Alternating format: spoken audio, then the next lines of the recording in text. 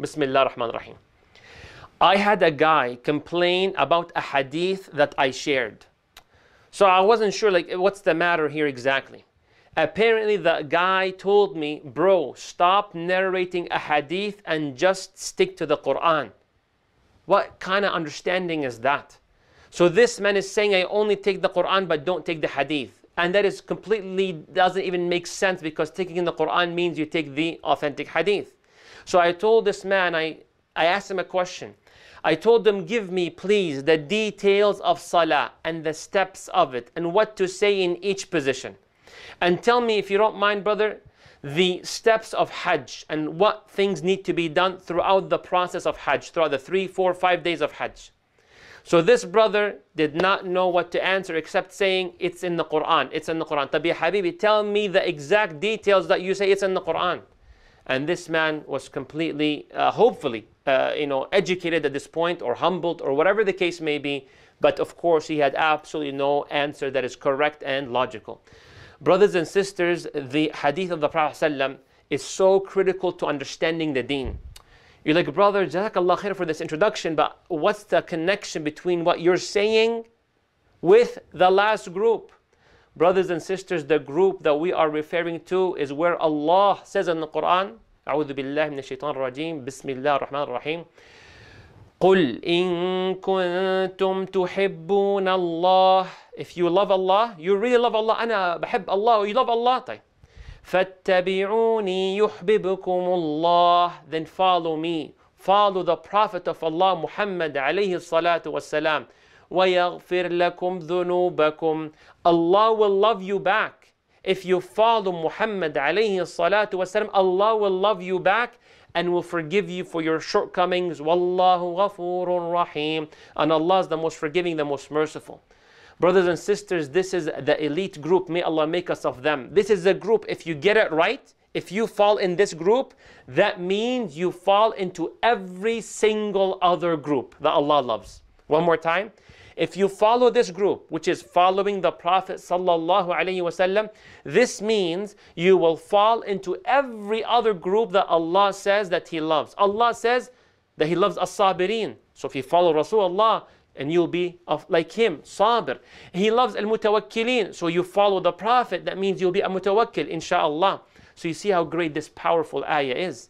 And part of following the Prophet means you follow the hadith of the Prophet sallallahu alaihi wasallam and his nasiha.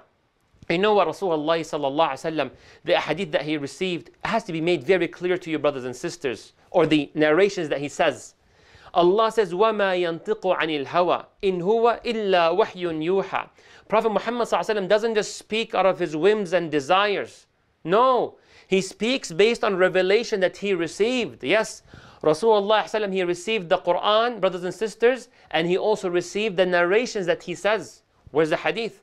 Ala inni utitul kitab. The Prophet says, I received the kitab, the Quran. Wa mithlahu ma'ah. And I also received along with it something similar, which is the narrations of the Prophet the authentic ones that we have received, brothers and sisters. If someone has a problem, pay close attention. If someone has a problem in the way the hadith is transmitted to us, then this has to mean that they have a problem in the way the Quran came to us. Astaghfirullah, what are you talking about? No, as clearly as, you, as it sounded to you.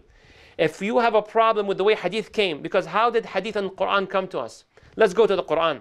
The Quran, people say the Quran is the word of Allah. But the hadith is the words of Al-Bukhari and Muslim and Abu Dawood. Ya akhi, pay attention. Al-Bukhari, Muslim, Abu Dawood and these wonderful scholars, they are the ones that collect these hadith, these the words of the Prophet wasalam. And the Quran, when it came to you, who said it? Muhammad salam. And he said it to who? He said it to the Sahaba radiallahu anhum. So there's the creation involved. So just like how you trusted the Prophet to say it to the Sahaba, the Sahaba to say it to At-Tabi'in, and to go all the way so you can have it today for you to read. Similarly with the Hadith, the Prophet ﷺ said the statement, the Sahaba heard it, they forwarded it to the Tabi'in, and it came all the way to us, brothers and sisters. So this is the process. And it wouldn't make sense for you to take one and not take the other because they come hand in hand. And the Prophet ﷺ, he predicted, Naam, he predicted that people will come in the future and will speak with nonsense. He says, ألا يوشك رجل شبعان على أريكته. The Prophet ﷺ says, a man would come and sit on his you know, couch leaning. It was an image of kind of showing off. Not that's haram, but the image, you know, see, a shab'an, like someone just ate to his fill and just relaxing and you know, half knocked out, whatever. Then he says, that man, عليكم بهذا القرآن. So the Prophet says that man will say, you just stick to the Quran. فَمَا وَجَدْتُمْ فِيهِ مِنْ حَلَالٍ فَأَحِلُّهُ Whatever the Quran says it's okay to do, you do. ولا, then he says, وَمَا وَجَدْتُمْ فِيهِ مِنْ حَرَامٍ فَحَرِّمُوهُ And whatever the Quran says is haram, then, stay, then basically stay away from it. So then that man is indicating, don't tell me the Prophet said, alayhi salam, hadith this, hadith that. Just stick to the Quran. You know what the Prophet said in this same hadith? He says, ألا لا يحل لكم لحم الحمار الأهلي The domestic donkey is not halal to eat ولا كل ذي ناب من السبع And the beasts with fangs are not halal to eat.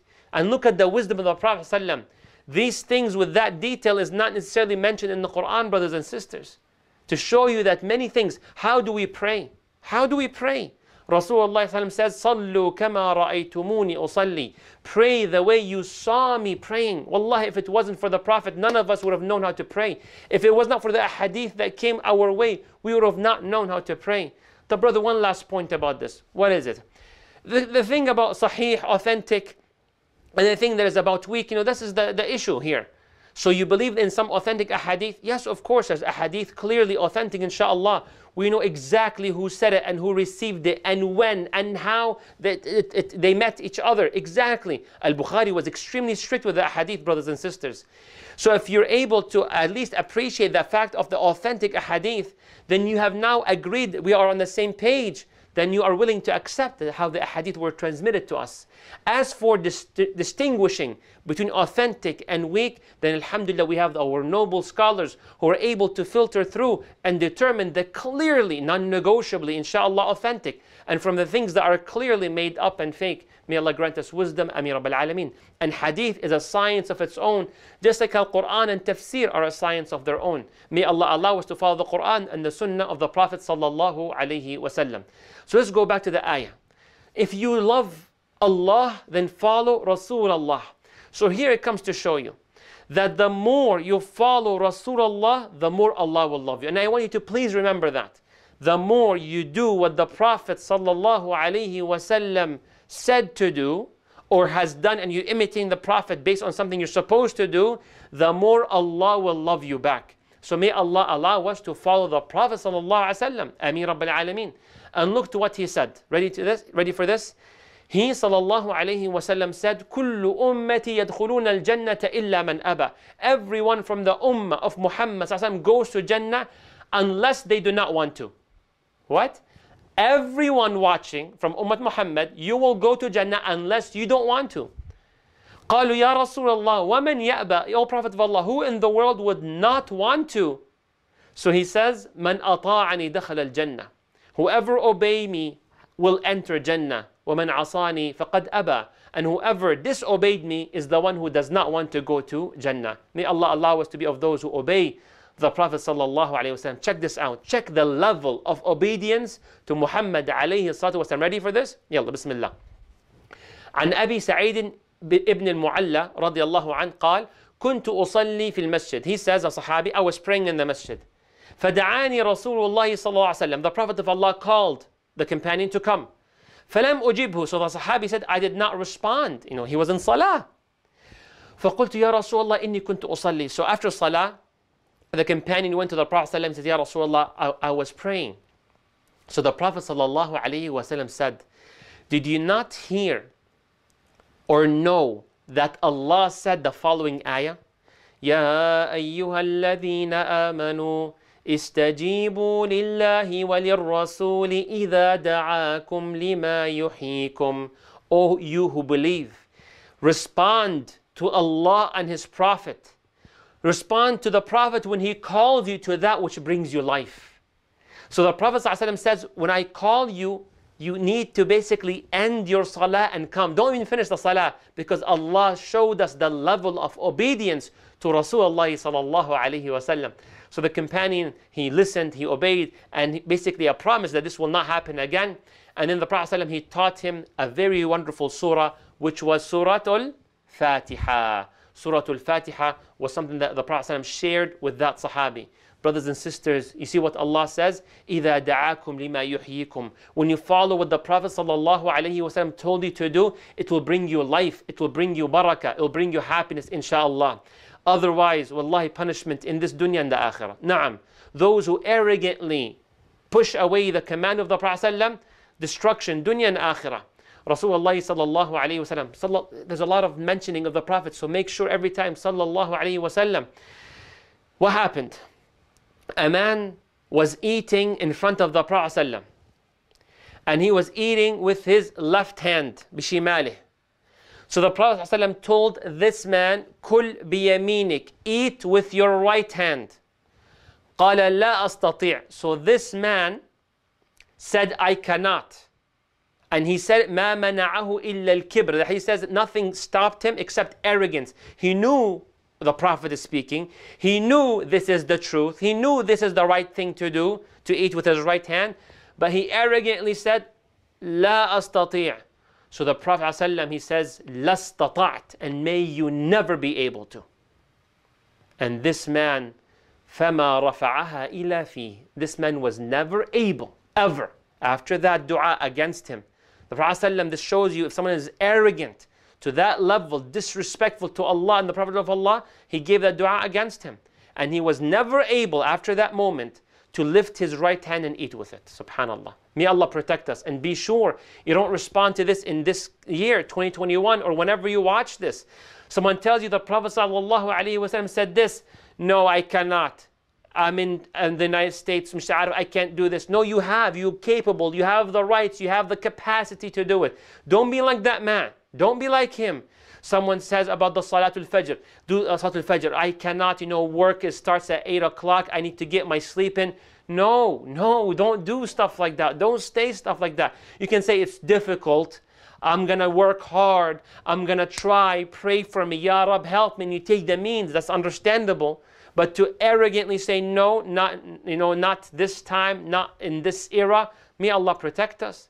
We talk about, for example, salah, respecting parents, paying zakah, and doing the, the hijab and the proper clothing. Don't be like this Sahabi because it will come against us really bad. I'm not talking akhirah. I didn't even touch on akhirah. I'm talking about dunya. But you also have the reward, brothers and sisters, which I just shared with you. If you obey the Prophet ﷺ, you're guaranteed Jannah, inshaAllah. And you see the examples of the Sahaba, beautiful stuff. Anas ibn Malik radiallahu anhu, check this out, wallahi. He says, كنت, the nurse says, قال كنت ساقي القوم. He, uh, a, a companion was the one who serves alcohol. Yes, I know it's haram, but that was before it was known to be haram. So alcohol was not made haram right away. It was after some time of the prophethood of Muhammad alayhi salatu wasalam. So he was passing alcohol, filling up the cups, here we go, and serving them. Where was this? في منزل أبي طلحة فنزل تحريم الخمر then the revelation came about the prohibition of alcohol. فأمر مناديا فنادى. So a caller, when the revelation came that alcohol became haram, خمر haram خلاص, a man start calling out loud in the streets, you know, that alcohol is haram, making it clear, it has been revealed, we can no longer drink alcohol, period, non-negotiable. So Abu Talha tells that companion, اخرج فانظر ما هذا Go and hear what's going on, what's going on with this announcement. قال فخرجت فقلت هذا مناد ينادي There's a caller that is calling what إن الخمر قد حرمت Alcohol is banned It's no longer halal It's haram And you know what happened? فقال لي اذهب فأهرقها The owner of all the alcohol He says go and destroy and spill all of that alcohol He didn't say you know what, let me just go ahead and uh, finish up a couple drinks. He didn't say, let me wait and uh, pray istikhara. He didn't say, does this apply to all people of all ages? It's prohibited, it's prohibited, it's clear. Don't play games, don't find loopholes. May Allah protect us and forgive us. So the companion says, the narrator, فَجَرَتْ فِي سِكَكِ الْمَدِينَةِ People start breaking the alcohol, pouring it, and all the way until the streets of Medina was filled with alcohol. As if they were, as the example of them getting rid of it, brothers and sisters. And let me share with you something. The alcohol prohibition came in an ayah in the Quran, yes or no? And you see how these people, the Sahaba radiallahu anhum, they received it. It was a man. It wasn't the Prophet speaking, right? It was the Prophet said the ayah Companions heard the ayah. They forwarded it to others. You see that process? That's like how the hadith comes to us in many cases, brothers and sisters, of the especially specifically authentic narrations. May Allah subhanahu wa ta'ala grant us wisdom. Ameen Rabbil Alameen. You, so you see this fast pace response to the Prophet ﷺ. One more, one more. One time the Prophet ﷺ was about to deliver a Friday khutbah, يخطب الجمعة. So the Prophet says, Ijlisu, he announced while he was about to get ready to deliver a khutbah, he said, sit down everyone, sit down, Ijlisu. فسمع ذلك ابن مسعود Ibn Mas'ud radiallahu anhu, he heard that. Sit down. When did he hear it? As he was walking into the masjid. So think of the door. He's right at the door. The Prophet is all the way at one place saying this announcement, please sit down. Ibn Mas'ud, from his obedience to the Prophet ﷺ, he sat exactly where he heard. He sat exactly where he heard the Prophet say, sit down. So he sat down in front of the door, in front of the door. The Prophet said, sit down, I'm sitting down. It might hurt. He said, sit down. Allahu Akbar. So the Prophet sallallahu alaihi wasallam, فرآه Rasulullah, he saw him. Then he says, تعالى يا عبد الله ibn Mas'ud. The Prophet says, Ibn Mas'ud, Ya Abdullah ibn Mas'ud, come here, come, you can, come forward, come forward. Showing, don't, don't, don't block the door, come here and sit here, basically, right? This comes to show you the Sahaba, the greatest people ever, brothers and sisters. May Allah make us respond to the Prophet in such a fast pace. Ya Rab, Ya Rab, all brothers and sisters watching us. May Allah allow us to hear a hadith and hear an ayah. And we say, we heard and we obeyed, sami'na wa ata'na, and we do it right away. Ya Allah, don't make us take too long, Ya Allah. Wallahi, not even an hour or two, let alone a year or two. Let alone people say after marriage and after Hajj and after I retire. A'udhu billah. May Allah grant us strength, Ameen Rabbil Alameen. And one of the, our Mashaykh says something beautiful. He says, on Yawm al Qiyamah, there's a bridge that goes over hell. الصراط يضرب ala جهنم right فوق جهنم and that sirat we know is sharp that sirat has hooks and thorns and the speed at which people cross the sirat varies. Some go at a speed of light. Hell is under you. You want to go as fast as possible. Some people go as fast as a wind or a bird or a, uh, as, a, as, a, as a horse, as fast as a one horse. And others are walking. And others are crawling. So the Sheikh says, subhanAllah, the, the correlation, and check this out. Your speed on the sirat, yawm al-qiyamah, will be equivalent or related or correlated with your speed in how fast you apply the commands of Allah and the Prophet ﷺ. How fast you respond to the command of the Prophet. You heard this hadith, the Prophet ﷺ said, don't do this. And he's like, I'm not doing it. Rasulullah says, do this, and you do it. How fast it is, is a reflection of how fast you will cross the sirat. Because the sirat is Islam. And Islam is basically taking part into what? What the Prophet told us to do. May Allah allow us to follow the Prophet alayhi salatu wasalam. Ameen Rabbil Alameen. Say Ameen brothers and sisters. We hear the Prophet also, there's a lot of stories, wonderful stuff. But let me share with you one here. One time there was a companion in which his sister was married to a man. Okay? And then that sister got divorced by that man. After the uh, iddah or that period has done, which he could have returned back the wife, he postponed so the iddah is completed. So therefore, if that man wants to marry that lady again, it's a whole new contract. So when this man came to propose again to the sister who he earlier divorced, the brother to that sister says, No way, no way, I will never ever allow you. He says, Ya Luka, you silly dude. Akramtuka biha, I honored you and respected you and allowed you to marry my sister. I approved of that. The sister was also approving of it. Wa zawwajtuka wa zawwajtukaha fatallaqtaha and now you divorce her and now you want her back. Wallahi la tarja' ilayka abada. He will, you will never ever have my sister back again. And then when this statement came to the Prophet sallallahu alaihi wasallam, Allah subhanahu wa ta'ala revealed an ayah. The understanding of this ayah is, is chapter 2, verse 232. The meaning of the ayah is that you should not. وَإِذَا طَلَّقْتُمُ النِّسَاءَ فَبَلَغْنَ أَجَلَهُنْ If someone divorces his wife and the time has come. So basically the meaning is if the husband or the ex-husband wants to come back to the wife, to the, to the lady, and they're both okay with it, then don't stop it from happening. Then what? Don't stop it from happening. Why am I sharing this with you? Because that Sahabi, how you see the, the comments he mentioned? You loser, yeah, look at you silly guy. I honored you, respected you, I gave you my wife. Wallahi, no way I will accept that from you. You see that level? No way, wallahi. But when he heard the ayah that was revealed to the Prophet wasallam that don't stop them, then this man said what? سمعا لربي وطاعة. I will obey Allah. And of course, this is obedience to Rasulullah sallam. ثم دعاه فقال أزوجك وأكرمك. Yes, I will approve of this marriage. And they, they basically, brothers and sisters, were okay to get married. So this point here is to show you the level of obedience. Emotions on the side when it comes to the Prophet ﷺ. Emotions and desires and whims and all these things. When the Prophet ﷺ says something, it's over. It's not negotiable. Look what Allah says. وَمَا كَانَ لِمُؤْمِنٍ وَلَا مُؤْمِنَةٍ It's not befitting. It's not an option. And clear, black and white. It's not an option for a mu'min or a mu'mina, male or female believing man or woman.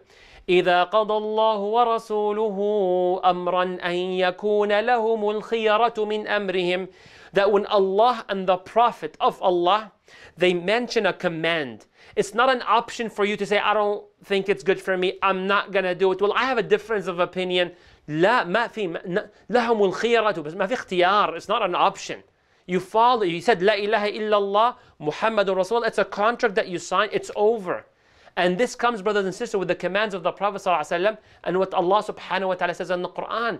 And there's barakah. Wallahi, there's barakah. When you hear and you obey Allah and His Prophet. Check this out. One time, there was a man, his name is Julaybib, very famous companion. But his fame is for many reasons. Of them, of them, he's a great companion, is that he wasn't perhaps the most handsome, the richest, يعني uh, he wasn't he wouldn't be a man that you know the families would love for this man to come propose to uh, their daughter but one time brothers and sisters Rasulullah sallallahu alayhi wasallam he went to a family okay min al-ansar from the people who were residents in Medina then what happened Rasulullah sallallahu alayhi wasallam said زوجني ابنتك allow your daughter for, uh, for, uh, allow your daughter to get into marriage. So the man, the father of that lady, thought that the one who's asking for the hand of the daughter is the Prophet ﷺ. So the man, the father said, Na'am wa karama ya Rasulullah. Of course, you want, you want the hand of my daughter? For sure. No, no doubt in that. So the Prophet ﷺ says, Inni lastu uriduha li nafsi. I'm not asking for her hand for me. Then the father said, فَلِمَنْ يَا رَسُولَ Then for who? He says, قَالِ لِي جُلَيْبِيب It is, I'm asking her hand for Julaybib. So the father says, Ya Rasulullah, um, ushawiru ummaha. Let me consult with her mom. Subhanallah. That's how difficult it was for him to accept Julaybib. And Rasulullah is the one asking on the behalf of Julaybib. Can you imagine the honor? So قال لي جلايبيب. So then the, the husband, goes to the wife. Now, they didn't speak to the daughter yet. So the daughter's not in the picture. So the father is speaking to the mother. So when the father went to the mother, he says, Muhammad alayhi salatu is asking for the hand of our daughter. So the mother says, a karama wa ni'mi. What a beautiful, of course. And he, why you're asking me? This is non-negotiable. Of course. Ahlan wa sahlan. So the father says, no, no, it's not, he's not asking for her hand for himself. إِنَّمَا يَخْطُبُهَا لِجُلَيْبِيبٍ He's asking her hand for Julaybib. Do you know what the mother said? And I'm going to say exactly as the hadith says. أجليبيب إني يعني ew إني three times أجليبيب إني إني يعني يعني yuck no way ew ew ew not جليبيب La la umrullah lanuzawiju. No way, والله no, no matter what happens. No way our hand, our wife, our daughter gets married to Julaybib. Now, who heard this? The girl, the daughter, the one whom the Prophet is asking her hand for Julaybib.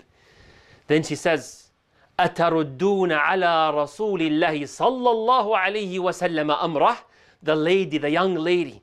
She says, are you turning down the command and the request of the Prophet صلى الله عليه وسلم? ادفعوني. No, no, no, no. You guys, no, step aside. فإنه لن يضيعني ولم يضيعني. Rasulullah will never, ever tell me to do something that will ruin me. Allahu Akbar. He will never tell me to do something that will go against me. He will never tell me to do something that will harm me, even though it may not logically be clear. Julaybib, there's a lot of other great men. But Julaybib, the Prophet advised that I marry him. Wallahi, I will marry him. Itfa'uni. No, don't stop between me and the command of the Prophet sallallahu alaihi wasallam. فانطلق أبوها إلى رسول الله صلى الله عليه وسلم. So her father went to the Prophet صلى الله عليه وسلم and told him فقال شأنك بها فزوجها جليبيب. So he said to the Prophet ﷺ, you know what, خلاص, it's, we agree. And then Julaybib, brothers and sisters, got married to that lady. They both got married, alhamdulillah. And one day a battle came, غزوة, في جهاد في سبيل الله. And who participated in this battle? It was Julaybib radiallahu anhu. And then, brothers and sisters, at the end of the battle, at the end of the battle, the Prophet ﷺ asked, هل تفقدون من أحد? Are we missing any of the soldiers? Because after the battle, people look for who of the soldiers are missing and passed away. قالوا لا. He says, No, Ya Rasulullah, we're not missing anyone. I think we have everybody, we counted everyone who passed away, who's alive, this and that. We, we, we found everyone, Ya Rasulullah. Then he says, انظروا, check, check, are you sure you're not missing anyone? قالوا لا. Then the Prophet ﷺ says, لكني أفقد جليبيبا. But I am missing Julaybib. He was with us. Where is he at? قال فاطلبوه في القتلى. Go and look for him. Look, go and look for him. فطلبوه فوجدوه إلى جنب سبعة قد قتلهم. He, they found Julaybib dead, رضي الله عنه. Around him, seven of the kuffar and the mushrikeen, the disbelievers, the enemies. He killed seven of them. Then eventually he got killed, رضي الله عنه. So the Prophet ﷺ, he was notified, Ya Rasulullah, ها هو ذا إلى جنب سبعة قد قتلهم. Then the Prophet ﷺ carried Julaybib. Naam, he carried Julaybib. The bed of Julaybib were the arms of the Prophet ﷺ.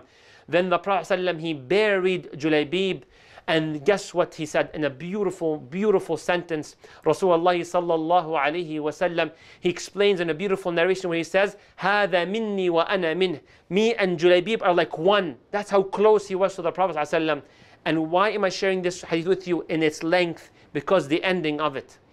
The hadith says, brothers and sisters, that there was no lady from Al Ansar, no woman from Al Ansar, anfaqa minha, who was more blessed in giving in charity and doing good as much as that lady, the one who accepted Julaybib. Let me reword it the one who accepted the command or the request of the Prophet. ﷺ. You see the barakah? Though everybody would have been shocked, why you got married to Julaybib? But look at the barakah. She got married to a man whom the Prophet loves. She got married to a man who died as a shaheed. She got married to a man who will, insha'Allah, intercede for her to go to Jannah. Yes, because the martyr intercedes for 70 of his family members, obviously the wife being of them. All that honor. And also in dunya, she was one of the wealthiest of Al Ansar in terms of giving in charity. This is the barakah of listening to the Prophet alayhi. And there's more. And wallahi, there's so many stories to share with you, brothers and sisters. I just want to share with you the last one here. The last one here. Okay? It's a sentence. I will not go through the whole hadith, but just a sentence. Rasulullah there was a lady in which three men went to propose to her. Three men, okay? One of them being Usama ibn Zayd radiallahu anhu. So he explained uh, when she was, uh, uh, you know, she was wondering that sister radiallahu anha, who should she get married to? So the Prophet said, I encourage you to marry Usama. فقال رها رسول الله صلى الله though Usama radiallahu anhu was not the best in terms of maybe status, right? He said, sallallahu alayhi wasallam, say sallallahu alayhi wasallam, sallallahu alayhi wasallam, he says, طاعة الله وطاعة رسوله خير لك. Wallah, هذا الحديث, if you just have it here, خليه always, always put it in your mind. I'll translate, I'll, I'll get, I got you. Rasulullah says, obeying Allah and obeying the Prophet of Allah is khair, is khair for you. It's always good. I don't see it, I can't see it, but eventually you will see it, inshallah. But you have to go and you surrender to Allah and the commands of the Prophet sallallahu alaihi wasallam. Brothers and sisters, I don't want to take much of your time. It's a blessing. Wallah, it's a blessing to talk about the Prophet ﷺ. And may Allah subhanahu wa ta'ala make us of those who follow him and see him in Yawm al-Qiyamah. Say Ameen. And may Allah allow us to be his neighbor in Jannah. Ameen Rabbil Alameen. This was the last group to share with you. And I pray to Allah to allow you of those whom Allah loves because you follow the Prophet alayhi salatu. May Allah bless you. May Allah protect you. May Allah make you of al-muhsinin المتقين الصابرين المتوكلين التوابين المطهرين المتطهرين الذين يقاتلون في سبيله صفا كأنهم بنيان مرصوص and المتبعين لرسول الله the followers of the Prophet عليه الصلاة والسلام. جزاكم الله خيرا. It has been an honor to deliver this series. I hope it was of benefit to all of you. May Allah bless you. May Allah protect you.